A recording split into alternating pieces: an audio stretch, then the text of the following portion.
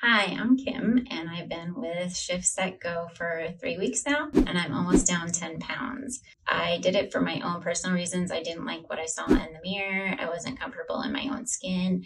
And doing this for myself is giving me more confidence. And I've also added the red light therapy in, and it helps with the joint pressure um, that I have. I had neck surgery three years ago, which kind of put the weight on since I couldn't do anything. And it's time for me to take care of myself. So this has really helped.